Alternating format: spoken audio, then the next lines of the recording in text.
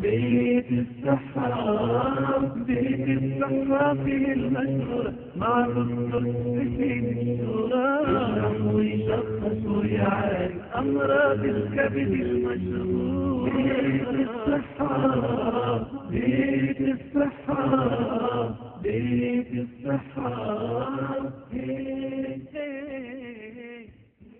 يا صاحبي يلي المرض هدك مش عايز أشوف دموعك نازلة على خدك. تمن الألم مغفرة في الدنيا. والآخرة. بالعفو مين قدك؟ بالشوكة لو شكتك تغفر ذنوب سكتك. بالعفو مين قدك يا صاحبي؟ يلي المرض. هدك. مش عايز أشوف دموعك نازلة على خدك. أعزائي المشاهدين يا كل مريض في الدنيا أهلا بيك في حلقة جديدة من بيت الصحة. بيت الصحة بيتذاع كل حد وكل ثلاث الساعة 8 و10 في الصحة بنفتح قلوبنا قبل ما نفتح آه، مواضيعنا آه، معاكم بنستقبل أهاتكم على توليفة وتردد قلوبنا. بنقف معاكم ونحاول نكون إخوانكم ونحاول نساعدكم في كل آهة وفي كل وجع أنت بتحس بيه. كل دقة من قلبي بتقول لك سلامتك. سلامتك يا كل مريض في الدنيا وبشرى لفيروس لمرضى فيروس سي. إحنا قلنا إنه ال IDV خلاص خلال آه، شهور قليلة شهرين ولا ثلاثة هيكون مغطي مصر كلها وكمان الداكلينزا وبدأت الحقيقة البشاير تهل وبدأت الناس اللي تاخد سوفالدي تجيني آه، بمشاكل من السوفالدي وبتقييمي الخاص ليهم. يعني عيانة جت رمت لي علبة السوفالدي وقالت لي ماناش واخداه وبطل الصفايح خالص وب- وباخد الحقن معاه. طب إيه رأيك؟ يعني الفترة اللي عدت كانت الحقيقة استشارات فنية تتعلق بالسوفالدي. الست كانت صفايح الدم عندها ما مش واصلة لحد 30000 فبالتالي هي خايفة من إنها تاخد السوفالدي. إحنا قلنا قبل كده مين العيان اللي ياخد السوفالدي؟ وقلنا قبل كده ما تتسرعوش وتاخدوا السوفالدي لأنه آه، في آه، آه، أدوية أحسن وأفضل بكتير وأرخص بكتير. خلاص المشكلة آه، اتحلت. أنا بس النهارده عشان أنا جاي الحقيقة بالعربية والدنيا مطر جدا جدا والجو غبار جدا. ربنا يكون في عون كل إخواننا اللي في الشارع. فأنا النهارده هنقول وصفة صغيرة كده للبرد كلنا بنشوف نزلات البرد وكلنا بنكتوي بنارها. الحقيقة أفضل حاجة في نزلات البرد الراحة. مجرد ما الواحد ياخد برد ما ينزلش بقى ويجري ويروح وي- ويجي الراحة وده أهم نصيحة ذهبية في علاج نزلة البرد. الراحة مهما كانت متطلبات حياتك. الحاجة الثانية الدفء إنك تدفي نفسك تدفي جسمك لأن وجدوا انه في ارتباط بين المناعة والدفء. الحاجة الثالثه السوائل الدافية. السوائل والعصاير الدافية. إحنا قلنا قبل كده ان اليانسون والنعناع والكراوية والزنجبيل كل دول وعصير الليمون كل دول الحقيقة هايلين جدا في آه، آه، البرد. عسل النحل مع الليمون هايلين جدا في آه، البرد. طيب من الحاجات تانية عن الخضروات الطازجة وشوربة الخضار أكتر حاجة تقوي المناعة. الحقيقة في معلومة مهمة عايز أقولها لمرضى السكر لأنه حصل عندي عيان سكر الحقيقة آه، أعتقد كان من الفيوم. والعيان ده يعني حد مثقف ومحترم جدا ربنا يديه الصحة وطولة العمر. والحقيقة كان سكره ضايع جدا. كان بياخد إنسولين وكانت الدنيا بايظة عنده تماما تماما. الحمد لله أول ما جاني ظبطنا السكر. في خلال 10 أيام كان كل الأرقام اللي بيحلم بيها في السكر اتظبطت. وفرصه أقول لكم الأرقام وتعالوا نحفظ مع بعض. أول ما تصحى من النوم يا مريض السكر يا فتاح يا عليم يا رزاق يا كريم. السكر يطلع كام؟ بين 70 و 140 تاني أي عيان صحي الصبح مريض سكر؟ لا السكر المفروض يكون كام؟ بين 70 و 140 ده المطلوب. حد يقول له طب إحنا بيقول 110 طب خلينا نسهل الأرقام. من 70 ل 140 اللي يصحى الصبح اللي يصحى الصبح مريض سكر ويقيس السكر على الريق. يا فتاح يا عليم يا رزاق يا كريم بين 70 و 140 يبقى أول ما اصحى الصبح أقيس السكر المفروض يطلع بين ال 70 وال 140 قل عن ال 70 سكري واطي. عالي عن ال 140 بقيت إيه؟ لازم أبص على الدنيا عاملة إيه. وكده يبقى عالي. ودايما قياس الصبح جاي من وجبة الليل. أصل حضرتك نمت اتعشيت ونمت لا حد نكد عليك في المنام ولا في مثلا مشكلة في النوم. يبقى اذا المشكلة جاية منين؟ من وجبة العشاء. وطبعا في أدوية دلوقتي ساحرة ساحرة. طلعت لتظبيط السكر الصايم.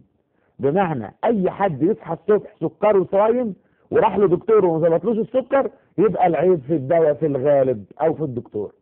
اذا هناك أدوية خاصة بضبط السكر صايم سواء كانت أقراص للي بياخد أقراص وسواء كانت حقن للي بياخد إنسولين. طيب يبقى أدي معلومة وانتهت. المعلومة رقم واحد من 70 ل 140 المعلومة رقم اثنين الصبح لما تقيس السكر ده جاي من وجبة بالليل. يا أكلت زيادة فالسكر عالي يا أكلت قليل فالسكر واطي يا خدت الجرعة زيادة فالسكر واطي يا خدت الجرعة إيه؟ قليلة فالسكر عالي. يا رحت مشوار بعد ما اتعشيت واتعشيت وما خدتش بالك إنه مريض السكر لما يروح مشوار أو يعمل مجهود زيادة كأنه كأنه خد علاج زيادة. طب لما حد ينرفزه كأنه كل زيادة. أنا امبارح بقولها العيانه في العيادة لقيتها بتقول لي والله ده حقيقة. طيب أنتوا زي ما أنتم شايفين أعراض مرض السكر في صورة آه، صغيرة جدا إحنا جايبينها والحقيقة زي ما بقول مش دايما الأعراض آه، كفيلة لوحدها إنها آه، تقول مرض السكر. طبعا أنتوا شايفين في حمام إحنا جايبين صورة لدورة مية أو قاعدة حمام بتقول إنه الواحد بيدخل الحمام كتير وده بنسميه في الطب بوليوريا بوليوريا حاجة ثانية جايبين حزام إحنا فقدان الوزن الواحد بينقص وزنه كتير. يبقى الحاجة الثالثه التعب والعطش. الحاجة الرابعة الجرح الحقيقة ياخد فترة على ما يطول. كمان بيبقى فيه بعض ال- ال- الجروح أو النتوء البسيطة اللي إحنا بنقول عليها فساتيس أو دمامل أو خلابيك صغيرة. كمان يبقى فيه صعوبة في التئام الجروح. ساعات العيان يجيني بس بالعجز الجنسي بالعجز الجنسي. طبعا الصورة أنا في رايي مش معبرة يعني الحقيقة دورت على صورة تبقى معبرة إن راجل وست مدين ظهرهم لبعض مش وشهم لبعض. بس يعني إحنا دايما بنقول إنه في في مرض السكر العجز الجنسي. الحقيقة آه، آه، ال- ال- ال- ال- الستات ساعات بيجي لهم حاجة يمكن مش جاية في الصورة هنا تبقى عبارة عن هرش هرش في الفرج عند السيدة.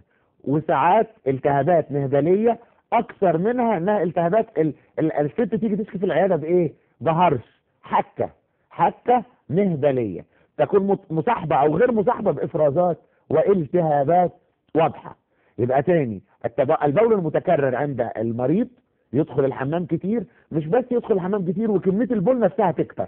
يعني لاحظ إنه بيدخل الحمام كتير أكتر من اللازم اتنين اتنين كمان نلاقي إنه كمية البول كترت. طيب في السيدات في السيدات بنجد الحكة الشرجيه زي ما الفرجية زي ما قلنا أو حكة في الفرج آه، مع إفرازات أحيانا زائد أو ناقص يعني موجودة يا مش موجودة. لكن الخسسان أو يعني انخفاض الوزن الحقيقة إن أنا بخس يبقى يقول لي يا دكتور ريقي ناشف يا دكتور بخس يا دكتور بتبول كتير بالنهار يا دكتور البول بيصحيني من النوم بالليل يا دكتور عندي ضعف جنسي يا دكتور عندي تنميل في أطراف صوابعي يا دكتور عندي تنميل في أطراف رجليا يا دكتور عندي آه، آه، كسل وخمول وحاسس ان أنا مش متظبط. أقل مجهود أتعب. يا دكتور ساعات بحس بعرق شديد شديد الغزارة وانخفاض في درجة الحرارة. وأحس ساعات إن أنا جسمي بارد وأطرافي باردة. كل ده الحقيقة آه، قد يكون مقدمة تقول أن هناك سكر لكن لابد أن أنوه إلى إن السكر ليس مرض يعرف بالأعراض. إنما الأعراض اللي قلناها دلوقتي قد تكون السبب السكر وقد لا تكون. السكر يا جماعة زي فيروس سي. الاثنين ما نحلفش إنهم موجودين غير بالتحليل. ولذلك فإن السكر وفيروس سي الاثنين يكتشفوا بالإيه؟ بالتحليل. من الأخطاء الشائعة برضه يقول لي إيه؟ إحنا عارفين إن السكر وراثي. فتسأله تقول له باباك عنده سكر يقول لك لا. وبعد ما تضغط قوي عليه يقول لك أصل جاله على كبر. ما هو ما هو مفيش حاجة اسمها جاله على كبر. عنده سكر ولا ما عندوش دلوقتي؟ عنده. جاله ولا ما جالوش؟ جاله. خلاص في حاجة اسمها إيه؟ على كبر. طيب معانا اتصال. ألو؟ ألو. أيوه يا ست أم لمياء ازي حضرتك؟ الله يسلمك. تسلم يا ابني. ألف مبروك للمياء الله يبارك في عمرك. الله يخليك يا رب. تسلم. إحنا هنعرض تحليلها دلوقتي وأنا عايزك تقولي لي إيه إحساسك لما لمياء آه، خفت ولما بشرناكم وأنتوا كنتوا فاكرين إنها ما خفتش. يعني إيه إحساسك آه، آه، بالذات إنها خفت من فيروس B وأنتوا ساكنين في كوم أمبو حتة اسمها العباسية شارع العمدة بجوار مدرسة أو معهد الأزهر.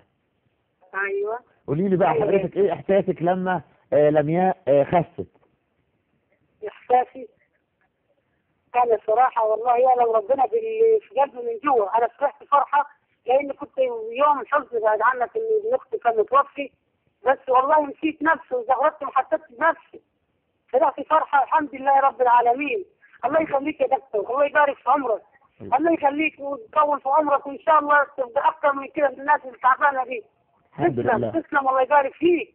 الحمد لله. فرحتنا فرحة ما كناش متوقعين إن إنها تطلع منها إن هي الفضل لله. هتروح الحمد لله. والله العظيم. الحمد لله رب العالمين. دعواتك أنا صراحة الصراحه يعلم ربنا بحالي أنا كنت تعبانة متوترة متوترة على الآخر لما قالوا لنا لا لسه في فيروس. رحنا عند عند الدكتور قال الحمد لله رب العالمين قال لي الدكتور افرحوا يا عم زهراته دي خلاص طلع. الحمد لله الحمد لله يا دكتور الله يخليك. تزغرتي دلوقتي. تزغرتي لنا زغروتة دلوقتي ولا ما ينفعش؟ والله يا دكتور نسمع أنا- واحدة، أنا مصر. أنا ما زغرتش إزاي؟ طب يلا. حاضر من عينيا.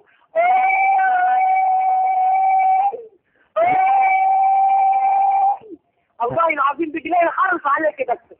ربنا يطول عمرك يا ماما وربنا يخليك يا رب ويخليك لمياء إحنا بنعرض الآن تحليل لمياء جابر محمد لسبان 16 والطبيعي لسبان 16 زي ما أنتم شايفين يبقى هي ما عندهاش حاجة وكتبنا لها ألف مبروك وده موبايلها 011 4 99 12 456 011 4 99 12 456 كوم اومبو العباسية بجوار المعهد الأزهري. قد إيه ببقى سعيد سعادة الدنيا لما أتسبب في شفاء حد من حاجة زي فيروس بي. الحقيقة الحالة الثانية أنا ح... يعني هحاول يمكن أخبي الاسم شوية لأنها مش عايزة نقول اسمها بس ليها قصة طريفة جدا. جاتني وهي المفروض إنها هتتجوز بعد أسبوعين وعندها فيروس سي. وقالت لي عايزة قبل الجواز أخف من فيروس سي. فقلت لها لأ فيروس سي ما, بي... ما بيخفش بالسرعة دي. ممكن أربع شهور ممكن خمس شهور لكن نبدأ. وفعلا ربنا كرم وبدأنا. وجاتني آه، عيادة كومومبو الأسبوع اللي عدى وهي خافه من فيروس سي ذلك البعبع الذي كان بعبع والآن لم يعد كذلك. أنا هحاول أخبي الاسم لكن هطلع التحليل آه، الحقيقة. و أنتوا حضراتكم شايفين طبعا النتيجة بتاعت التحليل. أتمنى آه، ال- التحليل يطلع قدام حضراتكم وخلاص مفيش فيروس سي فيروس سي انتهى من عند هذه العروسة اللي ليها أربع شهور. negative زي ما حضراتكم شايفين. بي سي ار فور اس في ار ان اي كوانتيتيف نيجاتيف نيجاتيف أنا يمكن أحاول أظهرها شوية. negative زي ما حضراتكم آه، شايفين. آه، وطبعا إحنا خدنا الاسم آه، احتراما لظروفها وإن أنا كنت زعلان طبعا لانها وعدتني لو خفت. نتصل بيها ونفرح معاها. لكن هي زغرتت في العيادة الحمد لله وفرحتنا كلنا. وبالذات إنه فيروس سي زي ما قلت لحضراتكم. طيب قبل ما آه، أسيب مرض السكر اللي قلنا قبل الاتصال الهاتفي ده وقبل ما نشوف تحاليل مر- مريض خف من فيروس بي ومريض خف من فيروس آه، سي آه، إحنا كنا قلنا أعراض مرض السكر وقلنا إن السكر ساعات يبقى يا جماعة عالي جدا الصبح وساعات يبقى بعد الأكل بساعتين هو ده العالي وهو ده المشكلة. نعمل إيه في ده ونعمل إيه في ده لأنه إلى كل مريض سكر إزاي يجي لك نوم وسكرك مش مظبوط؟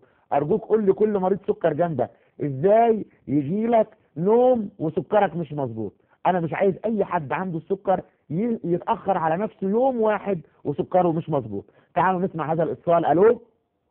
وعليكم السلام يا فندم. اتفضل يا دكتور؟ الحمد لله يا فندم. منور الشاشة يا دكتور.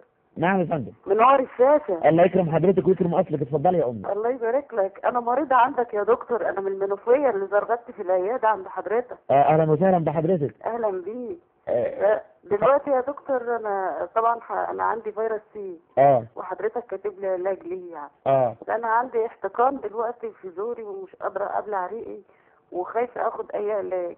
حاضر. وبعدين عندي جنبي بقالي تلات أربع أيام زي ما يكون في حتة نارة كده بوجع على طول. ألف جنب الشمال. في حرقان بول ولا مفيش؟ لا ما فيش حرقان في في البول. شكة مع البول تحت؟ نعم. على الجناب اي شكة على الجناب أو شكة ورا مكان الكليتين؟ آه هي الكلى الشمال. طيب انت بتشربي مية كتير ولا بننسى نفسنا في لا الميه بشرب مية كتير. طيب نزود شوية في المية. حللتي بول ولا حاجة قبل كده؟ كان في أملاح في أي فترة من في الفترات أملاح وصديد يا دكتور وأنا كنت مركبة دعامه لأن كان حصل عندي انسداد في الحالب في الحالب طيب ألف سلامة عليك. قولي لي حضرتك الأملاح كان اسمها إيه؟ يورات ولا أوكزالات؟ مش عارفة والله. طيب ألف سلامة عليك وأنا هجاوبك حالا دلوقتي. طيب أتمنى ياخدوا رقمها برضو. هي بتقول إنها من المتابعين معانا في العيادة. المنوفية إحنا ما عندناش عيادة في المنوفية فواضح إنها بتجي لنا في عيادة آه، فيصل. أنا ما أعتقدش المنوفية تجي لنا ال- يمكن المنصورة لكن أعتقد إنها بتتابع في آه، عيادة آه، فيصل. آه، لأنه ناس البحيرة دلوقتي الحقيقة بدأوا يجوا لنا عيادة اسكندرية. طيب تعال ن- ن- نقول معلومتين ثلاثة بس عايز بس أكمل نقطتين مهمين وأقلب وأجاوب على آه، أختنا الفاضلة اللي اتصلت دلوقتي. وعلى فكرة غالبا هي زغرتت عشان السكر اتظبط. صدقوني آه، ال ال ال السكر لما يتظبط والعيان يشوف أرقام ما كانش بيشوفها خالص. يعني يشوف 600 و500 و400 وفجأة يجي عندنا العيادة وياخد العلاج ويلتزم بال آه، بالحاجات اللي بنقولها ويلتزم بالنظام الغذائي ويمشي على الحاجات اللي بنقولها فيجد سكره تسعينات 95 110 يعني أرقام أنا ببقى مبسوط بيها. والعيان فعلا لو عيانة بتزغرط ولو عيان بيفرح ويزقطط لأن أنا بقول مشاكل السكر ليس لها الا إنه حضرتك تحافظ على مستوى السكر منتظم. المعلومة الثانية يمكن اللي أنا قلتها في اول الحلقة وما كملتهاش اذا عيان السكر كان لابس نظارة وسكره مش متظبط وده حصلت مع عيان معايا هي يعني حاجة لطيفة هقولها لحضراتكم وطريفة ولكنها علمية. العيان ده كان لابس نظارة وسكره مش متظبط خالص. ظبطت له السكر وبقى زي الفل بقى مش شايف من النضاره فرجع لي قال لي يا دكتور ظبطت لي السكر وبقى لي سنين سكري مش متظبط وبوظت لي العين. قلت له إزاي؟ قال لي بوظت لي الرؤية. نضارتي بلبسها أنا مش شايف كويس بيها زي ما كنت الأول. فبينت له المعلومة المهمة الثمينة اللي إحنا عايزين نقولها النهارده إنه عيان السكر لما سكره يتظبط قدرته على الافطار تتحسن. فهو النضاره دي كانت معمولة على عين مش شايفة كويس. دلوقتي عينه أحسن. فلما يروح للدكتور هيغير له النضاره بنضاره أفضل وأقل في القوة لأنه عينه اتحسنت. عينه اتحسنت. وطبعا فرصة نقول أبوس إيدك. يا كل مريض سكر في الدنيا أبوس إيدك واترجاك كل سنة تروح لدكتور يفحص قاع عينك علشان ما توصلش لأي مشكلة من مشاكل السكر. المعلومة الثانية المهمة النهارده الحقيقة وهي معلومة مهمة جدا جاية لنا من كندا ويعني ثبتت تماما إنه في ارتباط قوي جدا بين الكوليسترول وحصوه المرارة. اللي عنده الكوليسترول عالي لو ما ظبطش الكوليسترول حصوة المرارة في انتظاره. علشان كده لازم يظبط الكوليسترول وما يصبرش كتير على الكوليسترول العالي.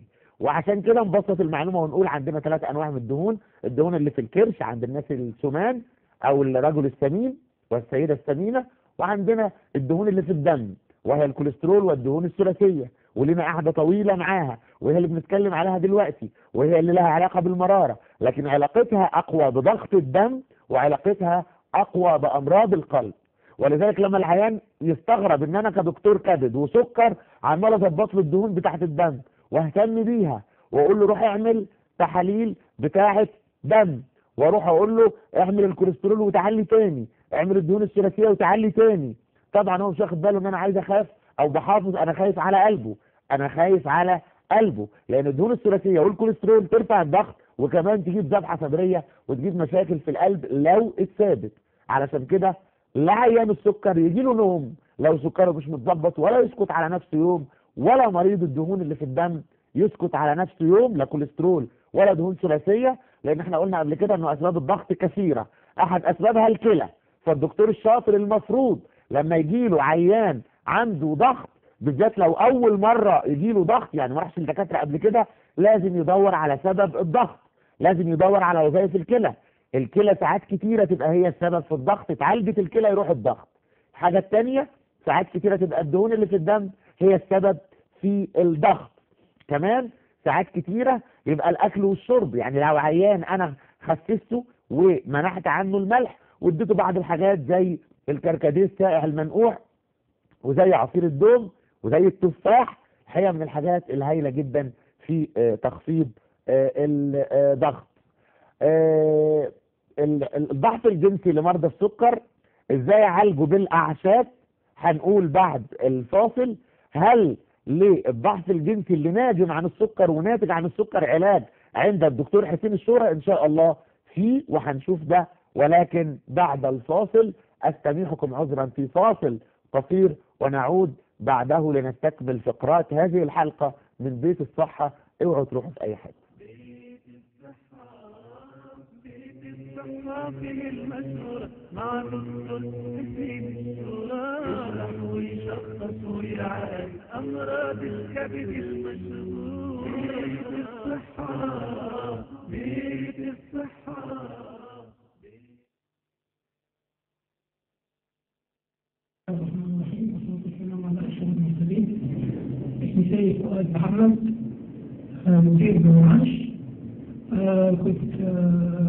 آه، في الأقصر شارع تلفزيون كان عندي زلال منخفضة زلال منخفضة وكانت الانزيمات مرتفعة. وكان آه، برضه عندي أشتكي من فيروس سي بفضل الله تعالى على علاج الدكتور الشورى ربنا يكرمه بإذن الله. آه، الزلال بقت م- شبه متكاملة. و وبالزلال ونسبه الانزيمات انخفضت وأنصح الناس انها تأكل بيض بياض البيض المسلوق المسلوق الفيروسي بأنه ما ياكلش من بره. لا لازم الاكل يكون داخل البلد شيء من الدهون عدم من الدهون. وكمان من المواد الحريفه اللي هي دي فيها حرارات اللي تتعب الكبد. إن شاء الله كل يكون بخير ويشفى إن شاء الله. بفضل الله ثم فضل علاج الدكتور الشهرة أكرمه الله. السلام عليكم ورحمة الله وبركاته. بيت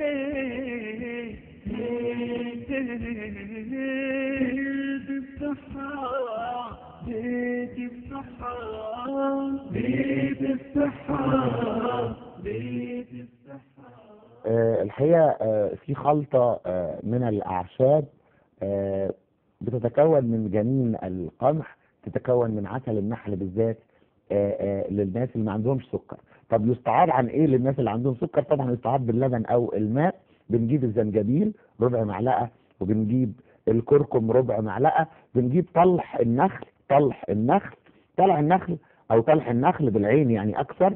الحقيقة بناخد منه ربع معلقة وبنجيب الجنسنج الكوري أو السيبيري وبناخد ربع معلقة يبقى ربع معلقة زنجبيل ربع معلقة آه، آه، آه، جنسنج سيبيري أو كوري معلقتين من جنين القمح يضاف إليهم طبعا لو ما عندوش سكر العسل النحلي ولو هو مريض سكر وبنصف الوصفة للضعف الجنسي عند مريض سكر يبقى ما يحطش عسل نحل لكن يحط كمان مع الزنجبيل والجنسنج الكوري بيحط آه، وجنين القمح بيحط ثمن معلقة آه، من الكركم بتبقى ليها تأثير آه، رائع جدا. كمان بذور القرع العسلي من الحاجات اللي بتقوي جدا. واتكلمنا عن الجرجير قبل كده وفوائده. واتكلمنا عن الخس وفوائده. اتكلمنا في يمكن مواقف مختلفة عن النقطة دي. بس أنا الحقيقة عايز أقول نقطتين. ال- الأخ اللي خف من فيروس سي وكان عنده آه، واطي جدا. أنا عايز أقول لكم أنا طلعته في الحلقة النهاردة لأن الزلال كان اتنين والكسر مش راضي يعلى خالص. وفجأة بعد فترة بسيطة استجاب للعلاج فلقيته أربعة ونص. فيعني أنا دايما بطلع الحالات اللي مش طبيعي يحصل كده. يعني المفروض ناخد شهرين ثلاثة يحصل كده. لا هو في فترة صغيرة جدا. ربنا كرمه فقفز بسرعة آه، آه، إلى الأربعة ونص في الألبومين. ودي حاجة مطمئنة جدا. إن إحنا كنا عايزينه ثلاثة ونص بس. فوصل أربعة ونص.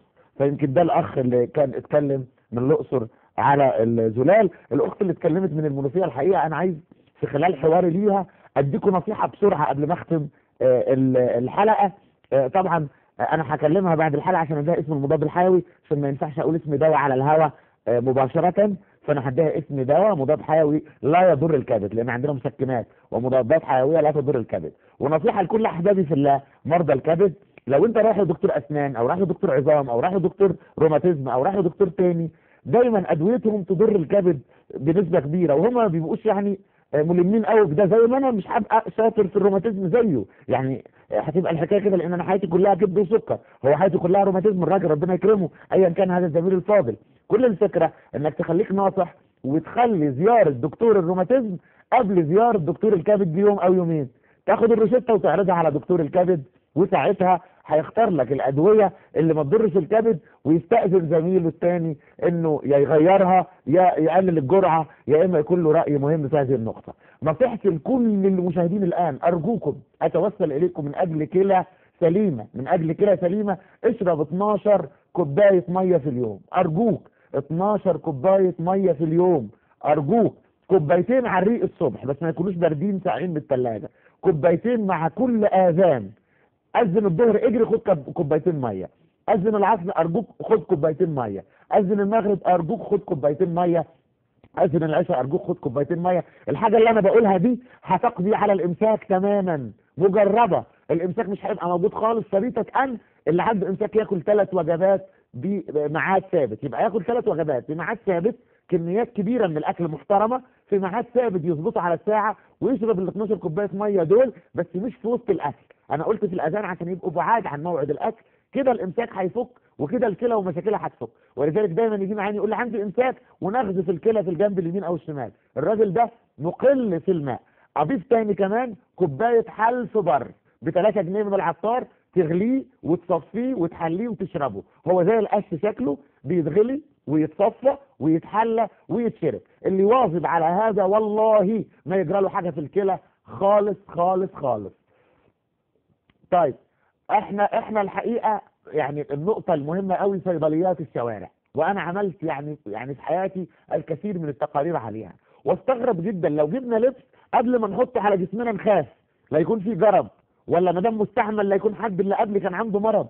طب إزاي الاعشاب اللي من على الأرض ولا من عند ناس تاخدها وتحطها في بطنك كده؟ ولذلك أنا هنصحكم نصيحة لله أي حاجة فيها عسل نحل روح اشتريها من كلية زراعة. أي حاجة فيها عسل نحل روح اشتريها من كلية زراعة. يتقال لك إيه؟ عسل نحل جبلي صدر بدلي خبلي جبلي. كلام فاضي بيضحك عليك. مش حاجة اسمها كده. أحسن حاجة تروح تجيب عسل النحل من كلية زراعة أو من معهد زراعة أو من مدر- مدرسة زراعة قريبة منك. هو ده اللي هيبقى مضمون غير مبالغ فيه. الكيلو ما يزيدش عن 20 جنيه. أشتريه ب 500 جنيه ليه أو 600 جنيه ليه؟ اعزائي المشاهدين خلص وقت الحلقة. ما زال عندنا الموضوعات الكثيرة اللي هنحكيها المرة القادمة إن شاء الله بإذن الله تعالى. آه، تستطيعوا التواصل معنا على الأرقام الواضحة على الشريط على الشاشة دلوقتي. تستطيعوا التواصل معنا على 03 وحايد 3 8 70 60 أو 010 903 703 أو تدخلوا على بيت الصحة في على الفيسبوك وتبعتوا كل أسئلة وهنجاوب عليها إن شاء الله. أعزائي المشاهدين خلص وقت الحلقة. وإن شاء الله للحديث بقية ما دام في العمر بقية. أعزائي المشاهدين أمنوا معي. اللهم استرنا فوق الأرض وتحت الأرض ويوم العرض. اللهم أنت ربي لا إله إلا أنت خلقتني وأنا عبدك وأنا على عهدك ووعدك ما استطعت. أعوذ بك من شر ما صنعت. أبوء لك بنعمتك علي وأبوء بذنبي. فاغفر لي فإنه لا يغفر الذنوب إلا أنت. اللهم إني عبدك وابن عبدك وابن امتك ناصيتي بيدك ماض في حكمك عدل في قضاؤك. أسألك بكل اسم ولك سميت به نفسك أو أنزلته في كتابك أو علمته أحدا من خلقك أو استأثرت به في علم الغيب عندك. أن تجعل القرآن العظيم ربيع قلوبنا وجلاء أحزاننا وذهاب همومنا وغمومنا. بقيت حاجة بسيطة خالص في طفلة بين الحياة والموت. في مستشفى آه، آه، كبر القبة العسكري الآن. أتمنى أتمنى إن شاء الله ربنا يشفيها وأمها الحقيقة استحلفتني إن أنا أجيب سيرتها دلوقتي في الحلقة. فأي حد قادر يستطيع التواصل معنا نديله عنوانها في مستشفى كبر القبة العسكري. طفلها طفله عمرها ثلاث سنين وقعت من الدور السادس. تكاليف المستشفى 20000 جنيه في اليوم. كل حد يستطيع انه يساعدها يذهب حتى بنفسه إلى مستشفى كبر القبة العسكري أو ياخد العنوان والاسم ويروح بنفسه علشان يسعى لهذا الخير. أعزائي المشاهدين قال رسول الله صلى الله عليه وسلم تبسمك في وجه أخيك صدقة وختامنا آه، الابتسامة وشكرا والسلام عليكم ورحمة الله وبركاته. على الأمراض الكبد المشهور Mustafa